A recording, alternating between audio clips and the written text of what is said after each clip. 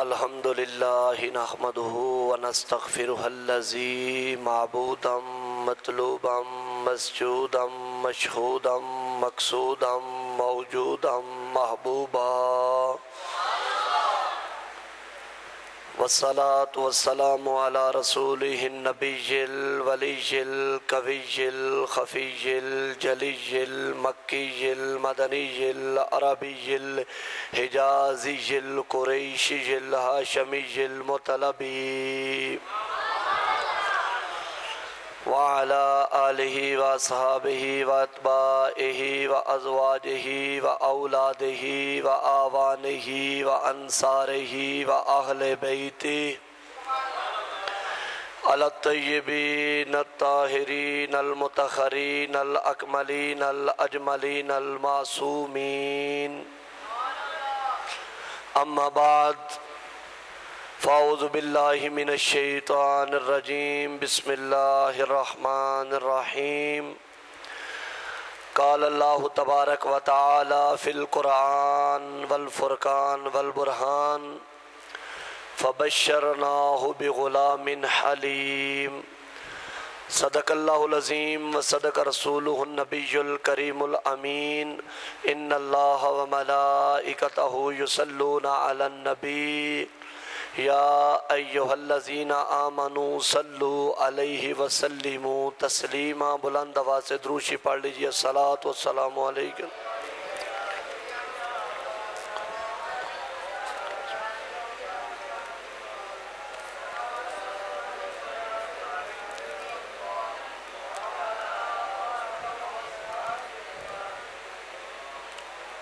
الصلاة والسلام علیکم یا سیدی آمد وعلى آلك وصحابك يا حبيبي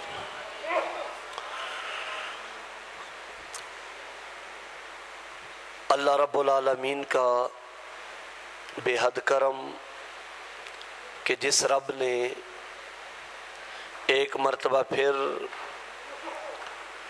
جمعۃ المبارک کی عظیم ساعتیں عطا فرما کے اپنے دربار گوہر بار کے اندر حاضری کا شرف عطا فرمایا۔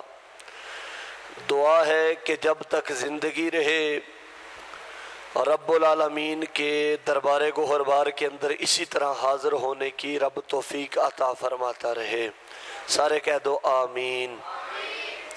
اس لیے بندہ تب تک بندہ ہوتا ہے جب تک اسے رب کی بندگی کرنے کی سعادت ملتی رہتی ہے۔ اور جب وہ اس پروردگار عالم کی بندگی سے ہٹ جاتا ہے، پھر وہ بندہ بندہ کہلانے کے لائق نہیں رہتا۔ اس لیے اللہ رب العالمین کا کروڑا احسان کہ جس نے ہمیں اپنے گھر، اپنے دربار یعنی کہ مسجد کے اندر حاضر ہونے کا شرف عطا فرمایا۔ کیونکہ وقت بڑا کم ہوتا ہے جمعۃ المبارک کے اندر، موضوع کو سمیٹنا بھی مقصود ہوتا ہے اور بات بھی دوستوں تک پہنچانا ضروری ہوتی ہے۔ اور جو سلسلہ شروع کیا گیا ہے، اس سلسلہ کو پایا تکمیل تک پہنچانا بھی گفتگو کا حصہ ہوتا ہے۔ دعا کیا کریں کہ رب العالمین جو بیان کریں پھر اس کو سن کر، سمجھ کر ہم سب کو اس پر عمل کی توفیق عطا فرمائے۔ پچھلے جمعۃ المبارک کو جہاں پر بات چھوڑی تھی، آج وہیں سے اس بات کا سلسلہ جوڑنے کی کوشش کرتے ہیں کہ اللہ کے پیغمبر جناب حضرت سیدنا ابراہیم خلیل اللہ علیہ السلام جب اپنی بیوی سیدہ حاجرہ سلام اللہ تعالی علیہ اور اپنے شیر خوار بچے حضرت سیدنا اسماعیل زبی اللہ علیہ السلام کو چھوڑ کے واپس پلٹنے لگے، تو آپ کی بیوی نے پیچھے سے آواز لگائی کہ اے ابراہیم علیہ السلام آپ ہمیں واقعی چھوڑ کے جا رہے ہیں، تو اللہ کے پیغمبر نے کوئی جواب نہ دیا، پھر دوسری بار پکارا، پھر آپ نے کوئی جواب نہ دیا، پھر جب تیسری بار پکارا، تو اللہ کے پیغمبر جناب حضرت سیدنا ابراہیم خلیل اللہ علیہ السلاۃ وسلام ارشاد فرما ہوئے۔ آپ بولے کہ ہاں حاجرہ، میں واقع آئی، تمہیں چھوڑ کے جا رہا ہوں۔ عرض کرنے لگی، اے اللہ کے پیغمبر، ہمیں کس کے سہارے چھوڑ کے جا رہے ہیں؟ تو آپ علیہ السلام والسلام نے فرمایا کہ اے حاجرہ، میں تم کو اور اپنے بیٹے کو یعنی کہ دونوں ماں بیٹے کو میں رب کے حوالے، رب کے سہارے، رب کے آسرے پہ چھوڑ کے جا رہا ہوں۔ قربان جاؤں، اس ولیہ پہ، اس نبی کی ماں پہ، نبی کی بیوی پہ آپ نے جس وقت یہ جملہ سنا، اور توکل اللہ پہ کتنا یقین تھا، جس وقت یہ جملہ سنا کہ رب کے سہارے پہ چھوڑے جا رہے ہیں، تو آپ فرمانے لگی کہ اے ابراہیم علیہ السلام اگر آپ مجھے رب کے سہارے پہ چھوڑ کے جا رہے ہیں، پھر مجھے کوئی غم، پھر مجھے کوئی غم نہیں، کیونکہ رب امانتوں کو ضائع، بولو بولو، رب امانتوں کو ضائع نہیں کرنے والا، میں اگر رب کے سہارے پہ آپ مجھے چھوڑنے جا رہے ہیں، تو پھر میرا رب جانے کوئی مجھے گھبراہٹ نہیں، کوئی پریشانی نہیں۔ تو سیدہ حاجرہ سلام اللہ تعالی علیہ نے وہاں پر ڈیرا لگایا، المختصر۔ پھر وہ پچھلے جمعہ اس کی ساری تفصیل بیان ہوئی۔ جناب حاجرہ کا دوڑنا، جو خوراک لائی تھی، اس کا ختم ہو جانا۔ پھر جناب اسماعیل زبی اللہ علیہ السلام کا ایڑیاں رگڑنا۔ پھر ان ایڑیوں سے پانی نکلنا۔ کیا نکلنا؟ پانی نکلنا اور آج بھی وہ پانی، آج بھی وہ پانی۔ کئی ہزار سال گزرنے کے بعد بھی وہ پانی نکل رہا ہے۔ اور اب تو اسے کنویں کی صورت دے دی گئی ہے۔ اس وقت تو چشمہ نکلا تھا۔ اور قربان جاؤں، کئی ہزار لیٹر پانی ہر روز اس کنویں سے نکلتا ہے۔ اور صدقے جاؤں کئی ہزار لیٹر پانی نکال لیا جائے، پھر اس کے بعد پندرہ منٹوں میں پانی برابر ہو جایا کرتا ہے۔ کتنے منٹوں میں؟ دنیا کے اندر بڑے بڑے کنویں ہیں، لیکن جو آب زمزم کا کنواں ہے، کئی، اور یاد رکھو، آپ دیکھتے ہوں گے، آپ کو علم ہوگا اس بات کا بخوبی کہ لاکھوں کی تعداد میں حجاج کرام حج کرنے جاتے ہیں اور کین کے کین آب زمزم سے بھر کے گھروں میں لاتے ہیں۔ گو کہ جتنے اسلامی ممالک ہیں، ان تمام اسلامی ممالک میں آب زمزم پہنچتا ہے۔ ان تمام ممالک میں بولو بولو آب زمزم پہنچتا ہے۔ قربان جاؤ نبی کی ایڑیوں پہ۔ قربان جاؤ نبی کی ایڑیوں پہ۔ اور نبی نے ایک بار ایڑیاں رگڑی تھی۔ وہ بھی چند دنوں کی عمر میں، چند مہینوں کی عمر میں، شیر خوارگی کی عمر میں۔ اگر وہ نبی ایڑیاں رگڑ دے، قیامت کی صبح تک وہ کنواں خشک نہ ہونے پائے۔ جس کنویں پہ جناب اسماعیل ایڑیاں رگڑ رہے تھے۔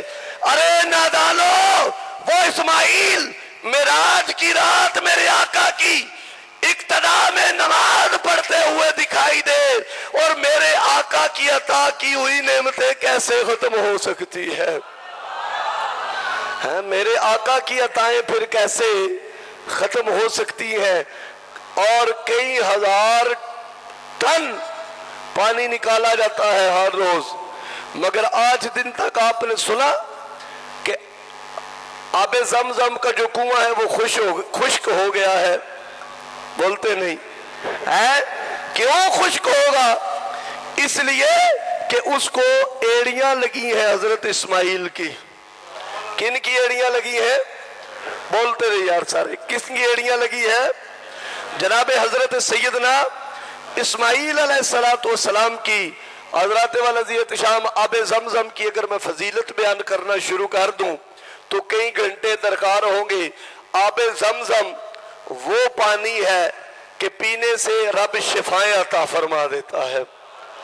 کیا فرما دیتا ہے؟ شفائیں عطا فرما دیتا ہے۔ ایک وہ پانی تھا، ایک وہ پانی ہے جو میرے نبی سے صحابہ نے مانگا تھا۔ ایک غزوہ سے واپسی ہے۔ صحابہ حاضر ہوئے۔ عرض کی، یا رسول اللہ، پانی ختم ہو گیا ہے۔ قریب قریب پانی بھی نظر نہیں آتا۔ آقا، آپ پانی دے کیا کرے بولو بولو۔ آپ پانی دے اب پانی دینے والا کون ہے؟ بولو تو صحیح یار۔ اب پانی دینے والا کون ہے؟ رب العالمین ہے۔ اور قربان جاؤں صحابہ کے عقیدے پہ۔ صحابہ جانتے ہیں۔ اور دیتا رب ہی ہے، پر دیتا وسیلہ مصطفیٰ سے ہے۔ حضور نے فرمایا اچھا پانی چاہیے۔ جی یا رسول اللہ، چاہیے تو یہ تھا حضور فرماتے، صفحے بچھاؤ نفل پڑھتے ہیں۔ ہاتھ اٹھاتے ہیں۔ رب کی بارگاہ میں دعا کرتے ہیں۔ التجا کرتے ہیں، اپنا مدعا پیش کرتے ہیں، اللہ بارش برسائے گا۔ اللہ بارش برسائے گا۔ اللہ تعالی پانی کا سبب کر دے گا۔ اب پانی انہوں نے مانگا حضور سے ہے۔ حضور نے فرمایا اچھا دیکھو کسی کے پاس کوئی پانی ہے۔ عرض کی آقا ایک مشکیزے میں، ایک مشکیزے میں تھوڑا سا پانی ہے۔ حضور نے فرمایا، لاؤ۔ کیا کرو؟ لاؤ۔ اس پانی کو پیالے میں ڈالا گیا۔ پیالے میں ڈالنے کے بعد سرور کونین کی بارگاہ میں پیش کیا گیا۔ اب جو میں جملے دینے جا رہا ہوں، بڑی توجہ کے ساتھ، بڑی دلچسپی کے ساتھ آپ سماعت کریں گے تو انشاءاللہ سرور و لطف آئے گا۔ اب اگر حضور ہاتھ اٹھاتے، آسمان بارش برسا دیتا حضور جمعہ پڑھا رہے ہیں۔ ایک عرابی کھڑا ہوا، یا رسول اللہ صلی اللہ علیہ وسلم، خشک سالی نے ڈیرے لگا لیے ہیں۔ قید سالی کا خطرہ لاک ہو رہا ہے۔ آقا یا رسول اللہ، دعا فرمائیے، بارش ہو جائے۔ آقا، دعا فرمائیے، بارش ہو جائے۔ میرے نبی نے یہ نہیں کہا کہ سارے دعا کرو۔ میرے نبی نے یہ نہیں فرمایا کہ سارے دعا کرو، نفل پڑھو، مسلح بچھا لو حضور نے ہاتھ اٹھائے۔ ہاتھ اٹھائے۔ ادھر ہاتھ اٹھنے کی دیر تھی، ادھر رب العالمین کی رحمت کو جوش آ گیا۔ گو کہ رب اس بات کا منتظر تھا کہ میرے سونے کی زبان کھلے۔ بارش برسنا شروع ہوئی۔ اتنی بارش برسی۔ جمعہ بھی بارش، ہفتہ بھی بارش، اتوار بھی بارش، پیر بھی بارش، منگل بھی بارش، بدھ بھی بارش، جمعرات بھی بارش۔ حتیٰ کہ پھر جمعہ۔ پھر جمعہ، پھر وہی خطبہ، پھر اسی کا کھڑے ہونا۔ آقا آقا بس، آقا بڑی بارش ہو گئی ہے، اب تو ڈوبنے کا خطرہ ہے۔ اب تو ڈوبنے کا خطرہ ہے۔ پھر آقا بس، یہ صحابہ کا عقیدہ ہے۔ یہ کن کا عقیدہ ہے؟ صحابہ کا عقیدہ ہے۔ صحابہ جانتے ہیں، شروع بھی ان کے مرضی سے ہوتی ہے، رکدی بھی ان کی مرضی سے ہے۔ یہ صحابہ کا عقیدہ ہے۔ صحابہ جانتے ہیں، رب برساتا بھی ان کی مرضی سے ہے، رب روکتا بھی ان کی مرضی سے ہے۔ عرض کی یا حبیبی، یا رسول اللہ، یا حبیب اللہ، بارش کو رکنے کا حکم دیجیے لجپال کریم نے، مدینے کے تاجدار نے، شہنشاہ عرب و عجم نے ہاتھ اٹھائے اور یوں ارشاد فرمایا، اے بارش مدینہ کو چھوڑ دے۔ کس کو چھوڑ دے؟ مدینہ کو چھوڑ دے۔ پکا اوپر اللہ چلا دو۔ مدینہ کو چھوڑ دے۔ مدینہ کو چھوڑ دے۔ مدینہ کو چھوڑ کے دائیں بائیں پرسنا شروع ہو جا۔ اور میرے مدنی مدینے والے کی زبان بکمال سے یہ لفظ نکلنے کی دیر تھی، بدلوں نے مدینہ چھوڑ دیا۔ یہاں پر اگر حضور فرما دیتے نا بارش کو رک جا اگر حضور فرما دیتے نا بارش کو رک جا تو رب کعبہ کی قسم قیامت کی صبح تک بارش دوبارہ نہ ہوتی. حضور نے یہ نہیں فرمایا رک جا، فرمایا مدینہ چھوڑ کے برستی رہ. برستی رہ، اور میرے نبی سے جب صحابہ نے پانی مانگا، تو حضور آسمان کو حکم کرتے، وہ بارش برسا دیتا، زمین پہ ایڑی مارتے۔ بولتے نہیں یار بدل زمین پہ ایڑی مارتے، زمین پانی باہر نکال دیتی۔ اور جن کے اباؤ اجداد ایڑیاں رگڑے پانی نکل آئے، اگر وہ ایڑی مارے، اگر وہ خود ایڑی مارے، تو کیا شان و مرتبہ ہوگا؟ کیا جرت تھی زمین کی جو پانی نہ پیش کرتی، بلکہ زمین تو تاب محمد میں چلا کرتی ہے۔ اس کی بڑی مثالیں ہیں۔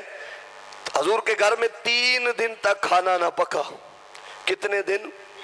بولو سارے کتنے دن؟ تین دن تک حضور کے گھر میں کھانا نہ پکا۔ ایک رات مدینے کے تاجدار نبی دو جہاں محمد مصطفیٰ صلی اللہ علیہ وآلہ وسلم اپنے سین میں گھوم رہے ہیں اور بھوک کی شدت اللہ اکبر اللہ اکبر۔ جب بھوک ہو تو پھر نیند نہیں آیا کرتی۔ ہے جی حضور چہل قدمی فرما رہے ہیں، کبھی ادھر جاتے ہیں، کبھی ادھر جاتے ہیں۔ حضور کی کو علامہ ہے، نام ہے فضا۔ حاضر ہوئی، عرض کیا، کا اجازت دے، میں گھر جاؤں۔ میرے گھر میں ایک سونے کی انگوٹھی پڑی ہوئی ہے۔ کیا پڑی ہوئی ہے؟ توجہ میری طرف، کیا پڑی ہوئی ہے؟ سونے کی انگوٹھی پڑی ہوئی ہے۔ آقا میں وہ بیچتی ہوں، بیچ کے کچھ کھانے کے لیے لے آتی ہوں۔ حضور نے جس وقت یہ جملہ سنا، تو سرکار کریم آقا مدینے کے تاجدار کا چہرہ مبارک غصے سے سرخ ہو گیا۔ حضور نے فرمایا، اے فضا، تو میری غیرت کو نہیں جانتی۔ آقا پھر یہ فرمایا، چپ، یہ تو میرا تو رب کا راز ہے۔ آقا سمجھی نہیں، حضور نے اپنا پاؤں مارا زمین پہ۔ کس پہ پاؤں مارا؟ زمین پہ پاؤں مارنے کی دیر تھی اور جتنے خزانے زمین کے اندر چھپے ہوئے ہیں، وہ سارے ظاہر ہونا شروع ہو گئے۔ عرض کیا کا اتنا ہوتے ہوئے پھر بھی؟ فرمایا، یہی تو تیری سمجھ میں آنے والی باتیں نہیں ہے۔ اگر حضور زمین کو حکم دیتے تو زمین پانی باہر نکال دیتی، پر جملہ بڑے مزے کا ہے۔ صحابہ نے پانی مانگا حضور سے تھا۔ صحابہ نے پانی کس سے مانگا تھا؟ بولو بولو یار۔ صحابہ نے کس سے پانی مانگا تھا؟ اونچا بولو یار۔ صحابہ نے حضور سے پانی مانگا، یا رسول اللہ، آپ پانی دیں۔ اگر زمین سے نکالتے تو کوئی یہ کہہ سکتا تھا کہ پانی زمین نے دیا تھا۔ حضور کا کون سا کمال ہے؟ اگر آسمان سے برستا تو کوئی یہ کہہ سکتا تھا کہ بارش ہوئی۔ حضور نے فرمایا، اب مجھ سے مانگا ہے۔ اب پانی مجھ سے مانگا ہے۔ جب مجھ سے مانگا ہے تو پھر میں ہی دیتا ہوں۔ اور قربان جاؤں مدینے کے تاجدار پہ، امام الانبیاء پہ۔ حضور نے نہ آسمان کو اشارہ کیا، نہ زمین کو حکم دیا۔ اور لجپال نے اپنا ہاتھ مبارک ہاتھ مبارک اس پیالے کے اندر رکھا۔ میرے کریم کا ہاتھ رکھنے کی دیر تھی۔ پانچوں انگلیوں سے پانچ پانی کی نہریں جاری ہو گئی۔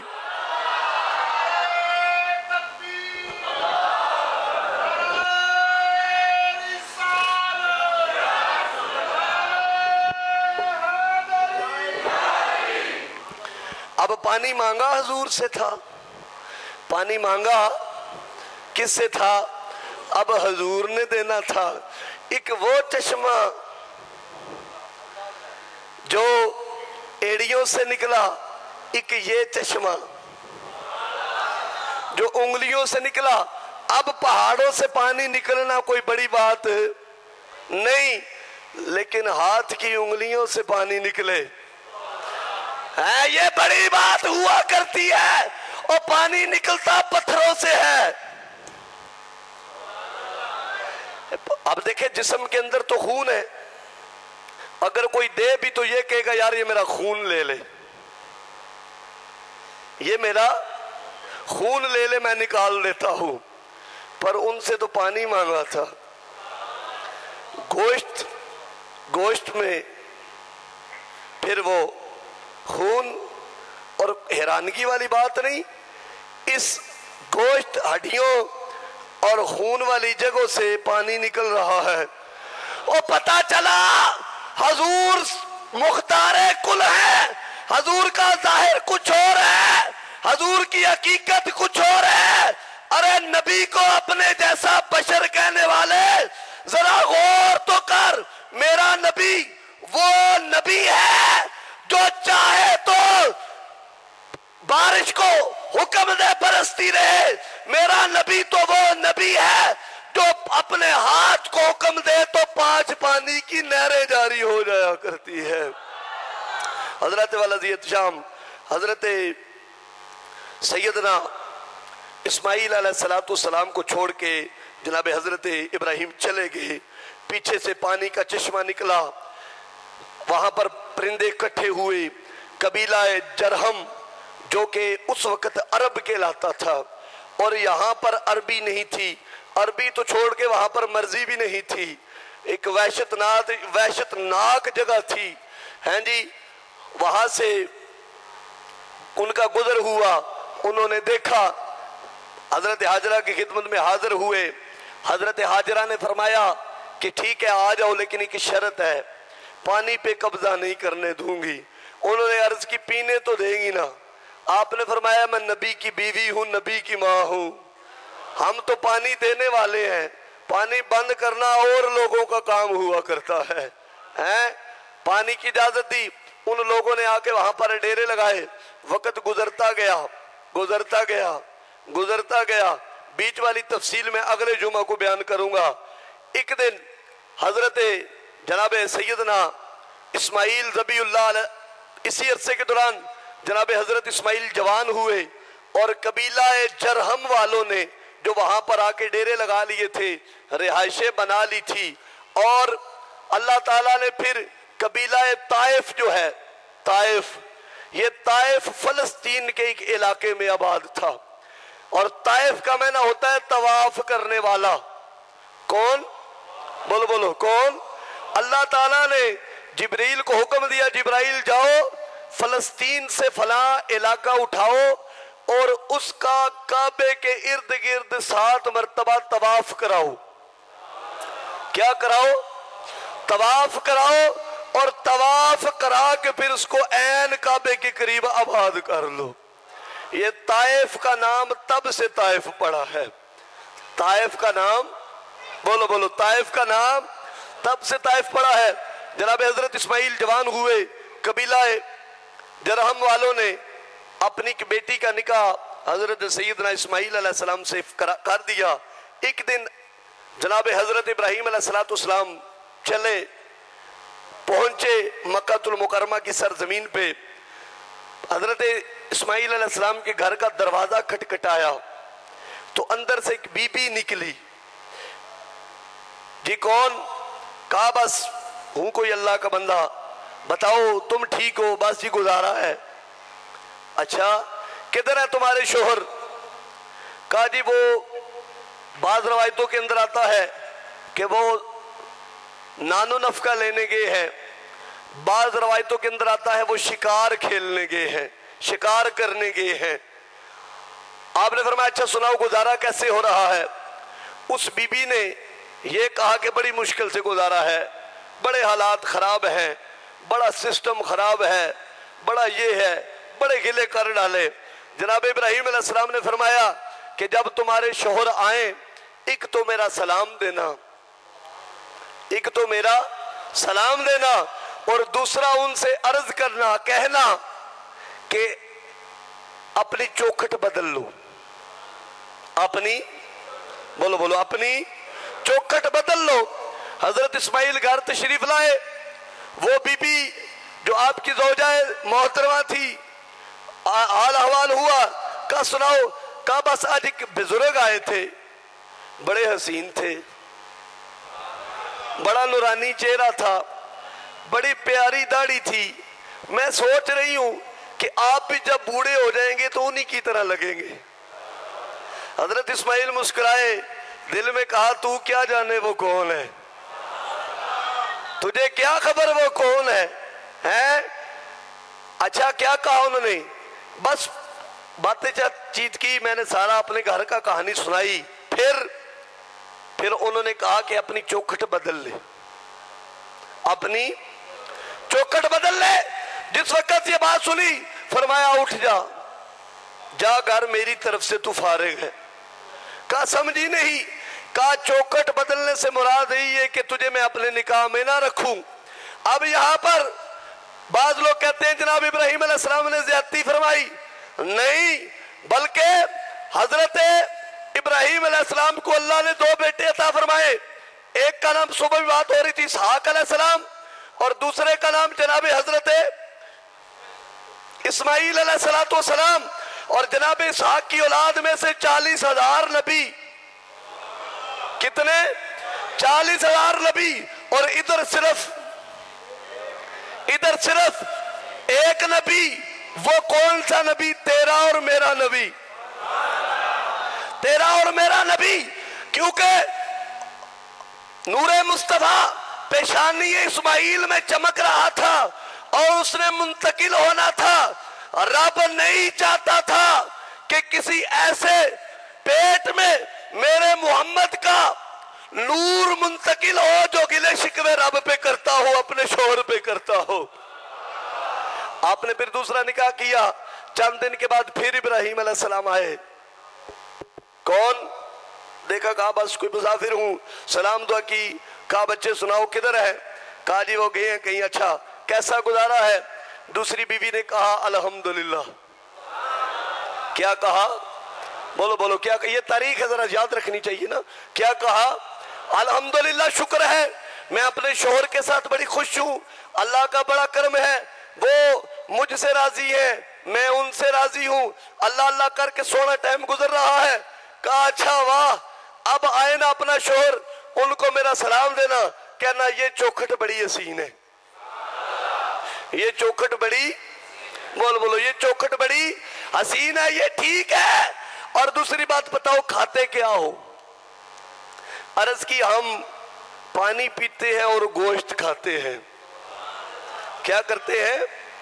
اب میں جو جملہ دے رہا ہوں، اگر آپ نے دور اندیشی سے دیکھا تو آپ سمجھ جائیں گے۔ کیا کہا، کیا کرتے ہیں؟ پانی پیتے ہیں اور گوشت کھاتے ہیں۔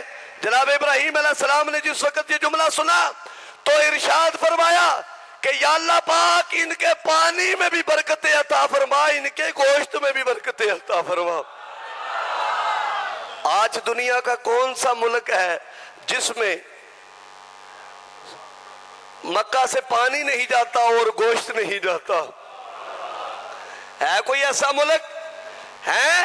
جب قربانی ہوتی ہے، پینتیس چالیس لاکھ قربانیاں کی جاتی ہیں، تو پھر گوشت بھیجا جاتا ہے۔ دوسرے ممالک کے اندر گوشت بھیجا جاتا ہے۔ حضور فرماتے ہیں کہ اگر اس وقت اگر اس وقت ان کے گھر میں اناج ہوتا تو ابراہیم علیہ السلام اس کی بھی دعا فرما دیتے۔ اور قیامت تک وہ اناج بھی وہاں پہ ختم نہ ہوتا۔ جناب ابراہیم نے پانی اور گوشت کی دعا مانگی۔ اثر دیکھنا ہو تو آج بھی وہ اثر نظر آتا ہے۔ اور جن کی دعاؤں میں اتنا اثر ہے،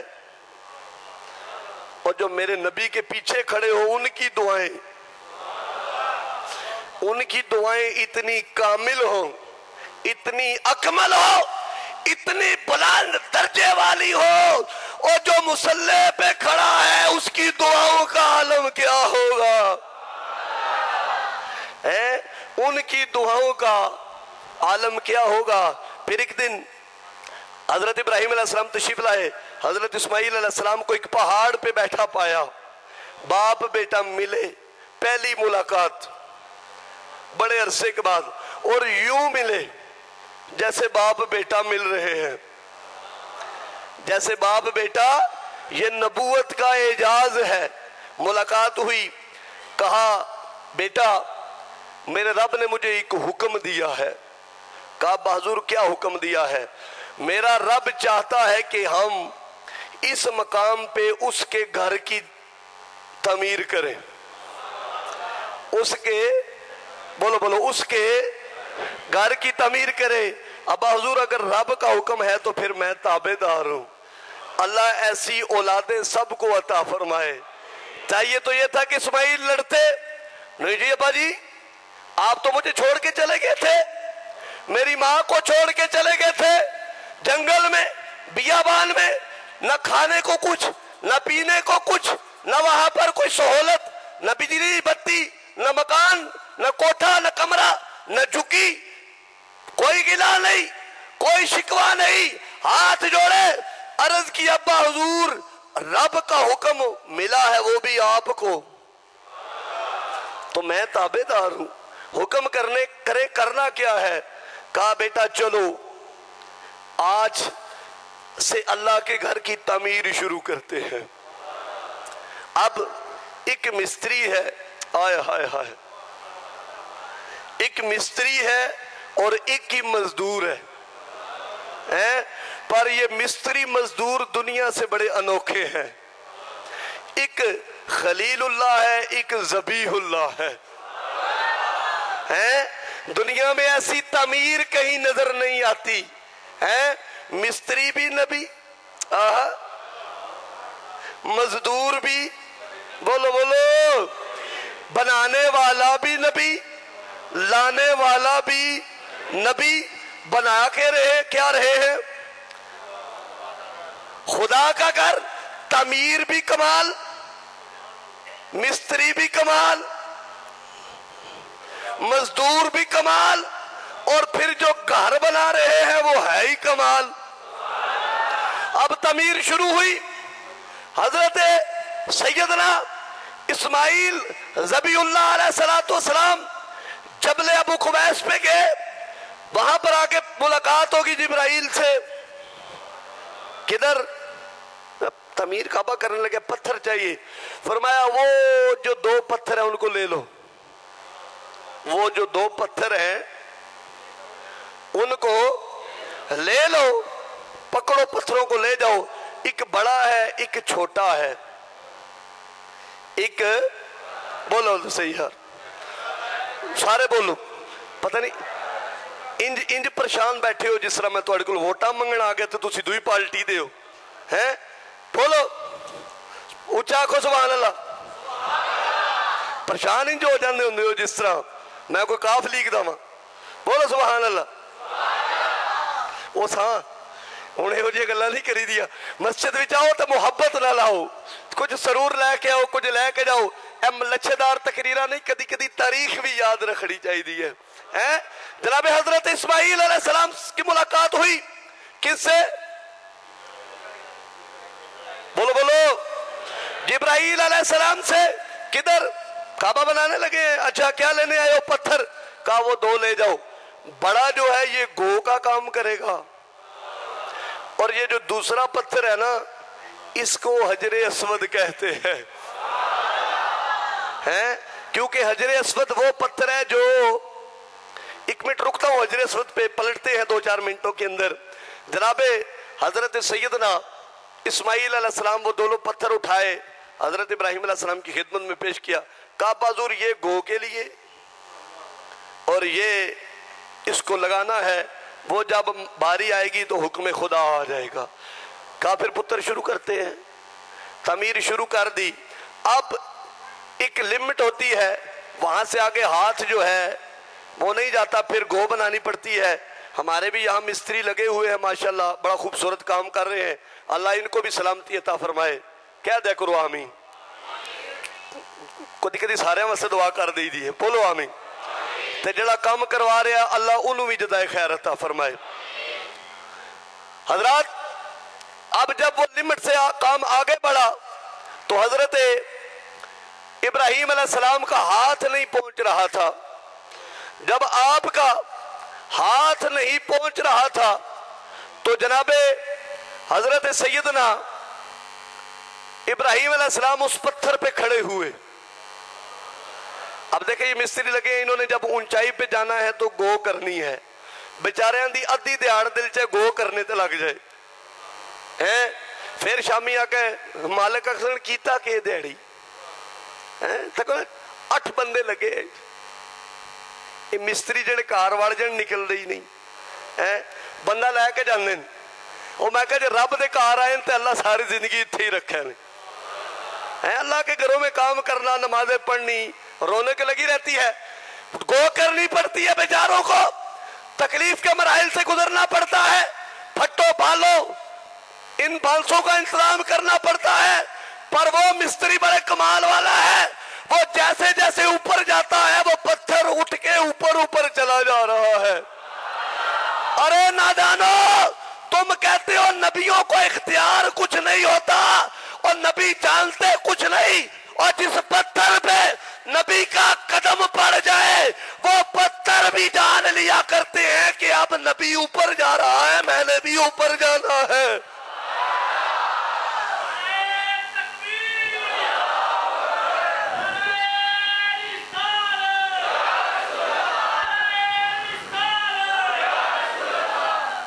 اب دیکھو، اٹھاؤ، تاریخ ہے جتنی اسلام کے اوپر لکھی گئی ہے۔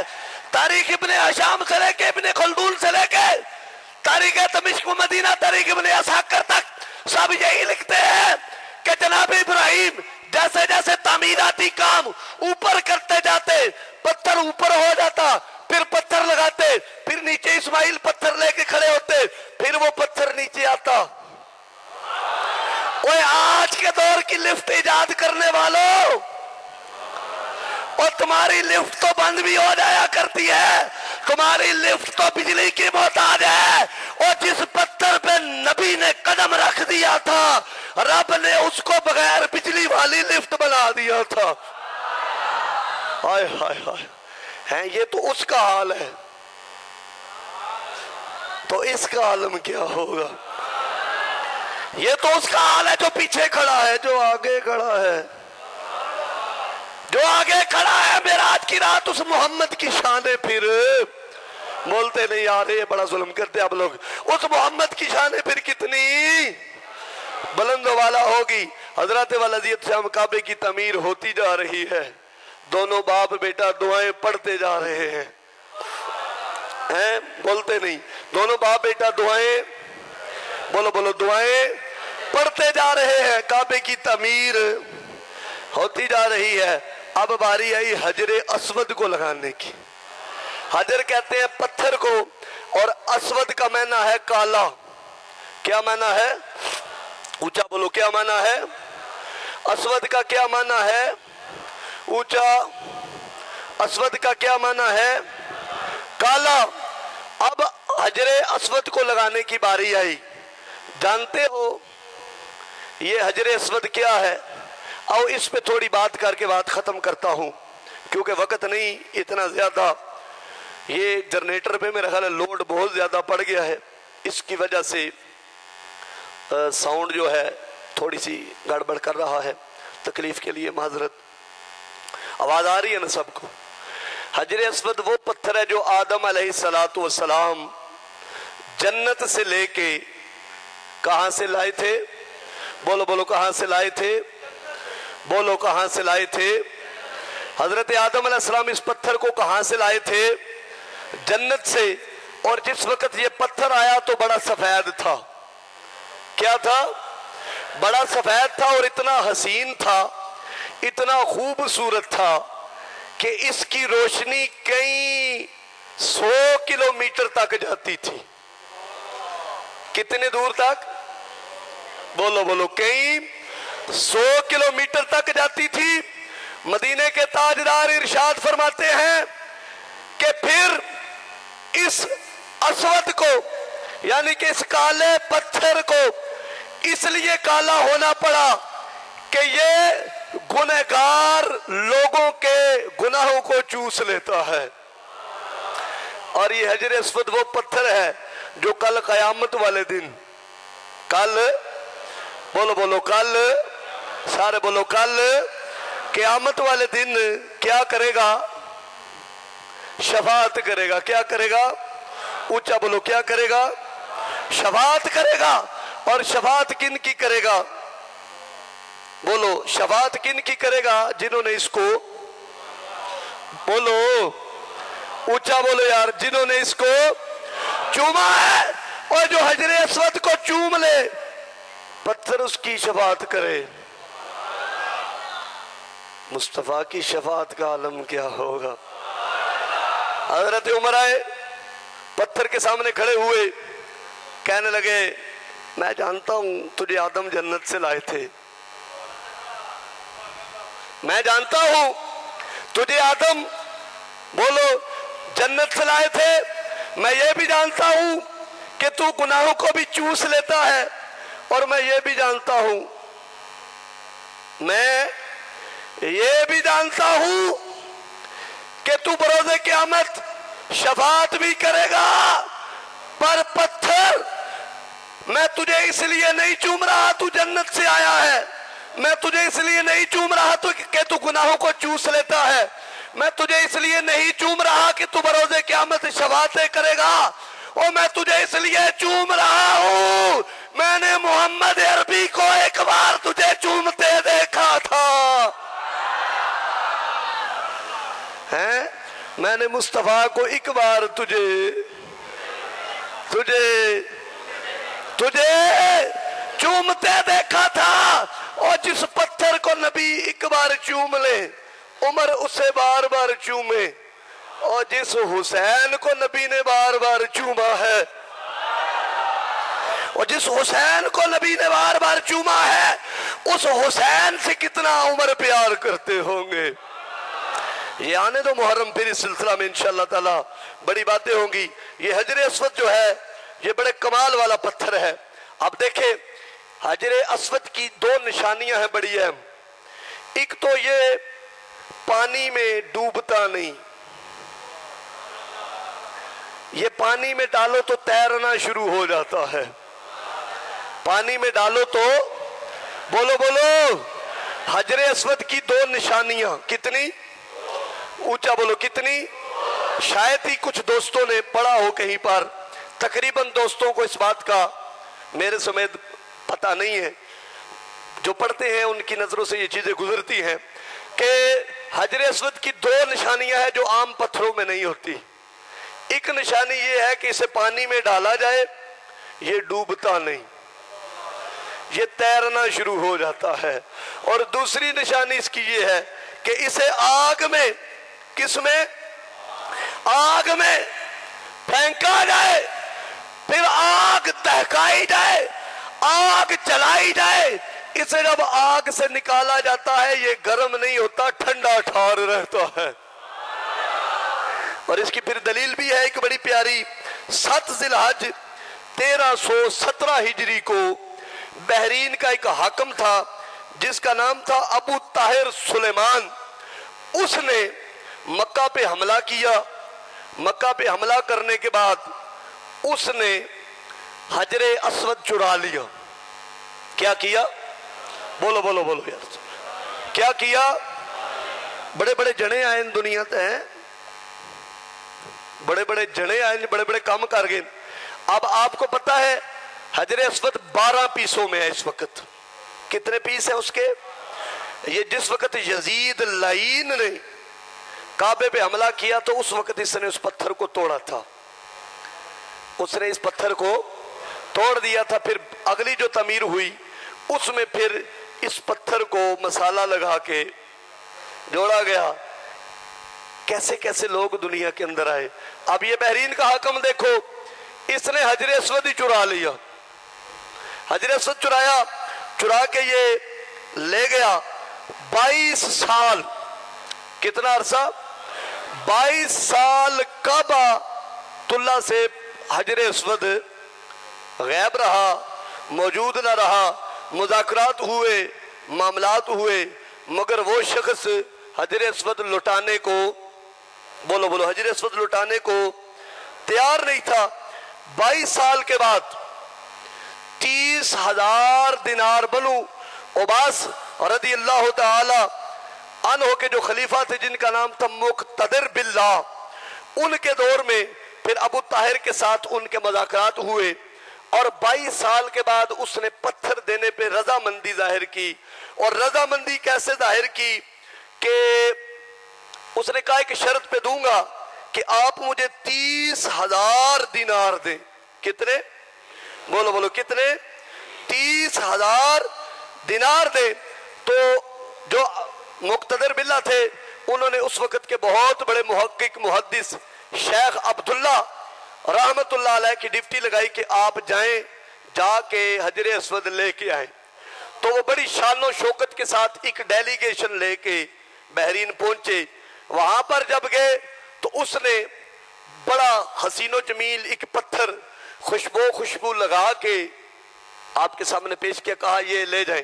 آپ نے فرمایا، میں ایسے نہیں لے کے جاؤں گا۔ میں ایسے، یہ واقعہ فتح مکہ کتاب کا نام ہے، اس کے اندر بھی موجود ہے۔ اور علامہ جلال الدین سیوتی رحمۃ اللہ علیہ نے بھی اپنی صحیح کے ساتھ اس کو نقل کیا ہے۔ تیس ہزار دینار دیے، پھر کہا، لے جاؤ کا ایسے نہیں لے کے جائیں گے۔ دو نشانیاں ہیں، وہ چیک کریں گے۔ اس نے کہا، کر لو۔ اس نے کہا، ایک تو یہ پانی میں پھینکیں گے، پتھر ڈوب جاتا ہے۔